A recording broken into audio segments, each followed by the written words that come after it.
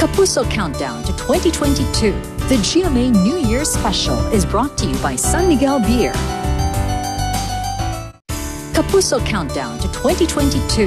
The GMA New Year Special is brought to you by San Miguel Beer.